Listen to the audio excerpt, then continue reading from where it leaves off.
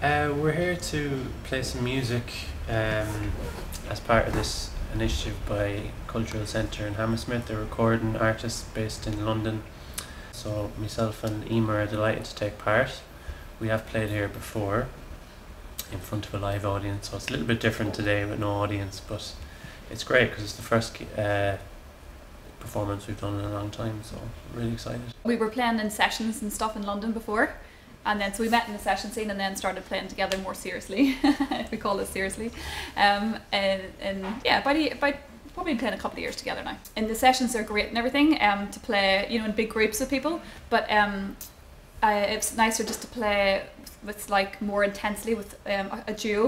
Um, and we also play as a trio sometimes. But you can explore things together more intensely. Um, he's great for the variations which I really you know get inspired by. Um, I suppose we um, Eimear was taught by a great player called Seamus Tansey who I would have listened to a lot growing up. So we'd have a lot of this uh, shared repertoire of tunes and um, I don't know just found it easy to, to play together really so. Yeah. Well, my background is um, I'm from County Armagh. Um, lived in London over 18 years, so giving away my age there.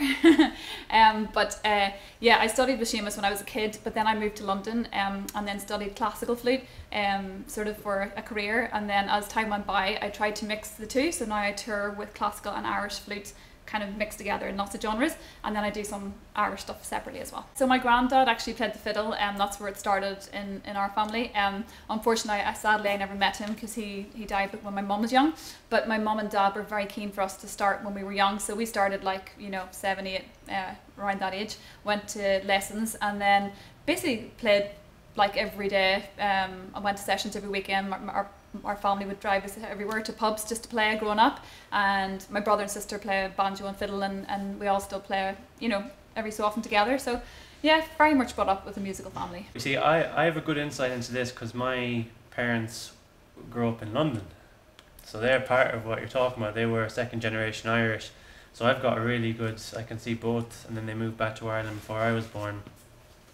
So my dad would have learned his music uh, in London and it was very important to them the Irish, the sense of Irishness, the music. But now that in London, a lot of the people that are playing music were born in Ireland and have come over, so there's a bit of a mix. Each part of the country has got um, a different accent, and it's um, especially going back, it was more pronounced. Now, like accents generally, it's a little bit more diluted because, you know, say years ago, people wouldn't have gone outside their area, so they just play the music a certain way. Um, so that's it really. You'd instantly be able to know know someone's music where they're from. Um, some parts are more pronounced than others. Say, all down the west coast would have a very um, personal accent, I suppose. So for me, um, I had some lung problems. Um, so I had planned to take a month off. Um, funnily enough, uh, my birthday is the day after Paddy's Day, and so after all the Paddy's Day gigs were finished, I was planning on taking a month off, and then COVID hit and like lockdown, so it actually worked out really good timing for me in that sense. But after a month, then I was just going crazy because like the first month was like yes, I get to rest, and then second month it's like okay, I'm really craving playing, and it, for me, I've really struggled. Um, what about you?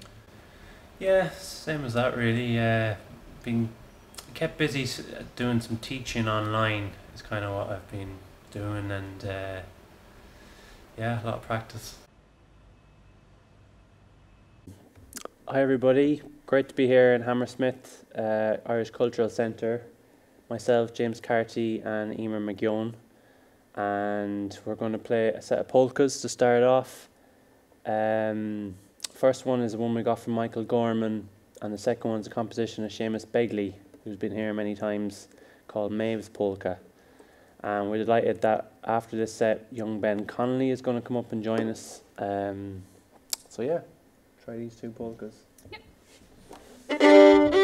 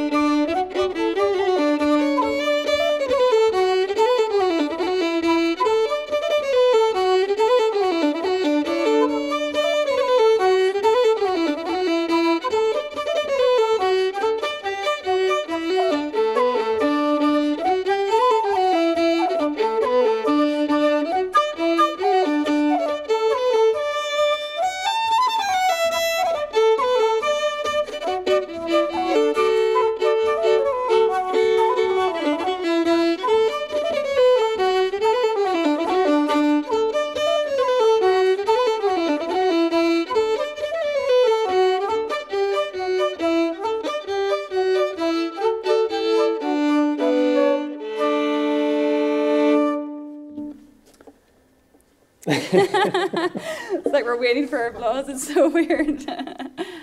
Uh, thanks very much. Uh, we're delighted now to be joined by Ben Connolly. Um, he's a young man of 16 years of age and he's a fantastic musician. He's going to play piano today. And if anything happens to me or Eimear, he can fill in on those instruments as well. yeah, he's a fantastic flute player as well. I didn't know he played fiddle though, as well. He can play anything. Wow. play anything, that man. So we continue on now with two reels. Uh, the first one uh, is composed by a Leitrim man called Sean Gilrain. Um, I got it from Eimear, and it's called Got Anya's fancy. His Fancy. Got it right. Uh, and then uh, a great tune afterwards that's called Conlon's Dream, or Sherlock's sometimes. Roger Sherlock was a great favourite of his. So yeah.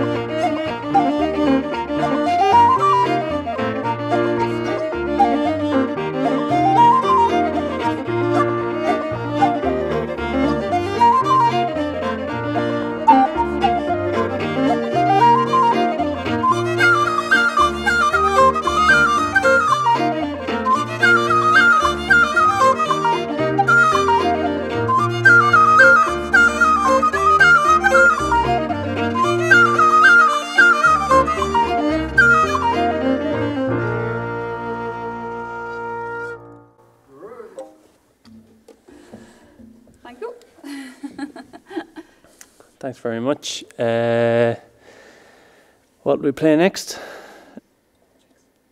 Um, Oh, so we might do the RuneScape. Yeah, I'll let Eimear tell you about this because she knows more about it than me. Okay, so we're going to do two tunes, a jig and two reel. A bit controversial for some, for some people. but um, yeah, we're going to start with a jig called RuneScape Jig. And basically, um, a few years ago, it's probably long, long, it's probably 10 years ago, but feels like a few years ago, um, I had to do some, some recording for a video game called RuneScape. And I had to do some improvisations. And while I was doing it, this melody kind of came into my head that sounded a bit like a jig. So I said to the guy, "Is it okay if I use this as a jig?" And he said, "Yeah, no problem." And he says, "Can we use the?" I said, "Can we use the uh, the." The, the title, and then I had to get like legal stuff. But anyway, in the end, we got to call it the title of the video game, which is RuneScape. so it's called RuneScape Jig. God, we probably should edit that. and then the second one is a really um, old reel called Maud Miller's.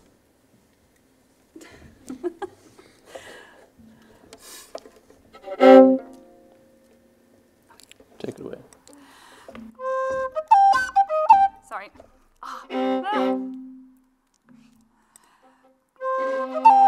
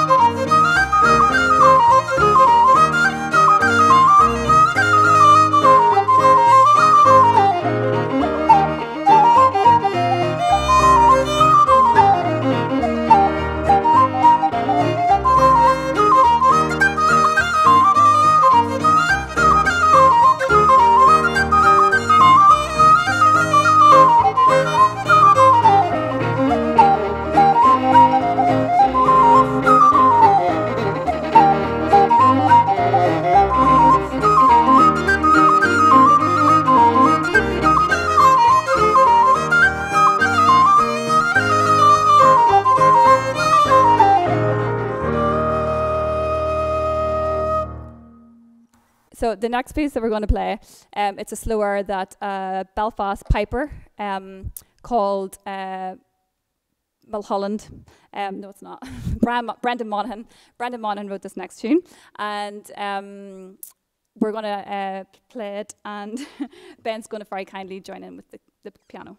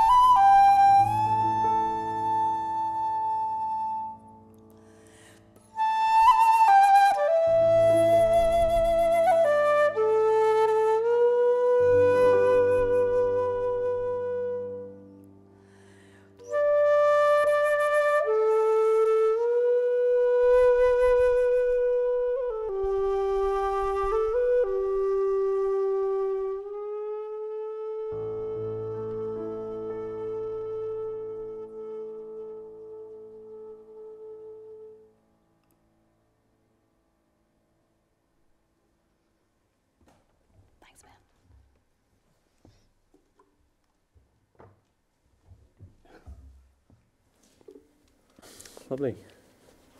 Relax. Hard to follow that. Anything happy will follow that. Great. Uh, we're going to continue on now. I'm going to play a couple of jigs this time. Um, myself and Ben. First one is called Jackson's. Jackson's Morning Brush. Uh, it's a version that's got from great fiddle player Michael Coleman uh, from Sligo. And then one after called Strike the Gay Harp. I have a few versions of this going around in my head, so it's kind of a mismatch. Yeah.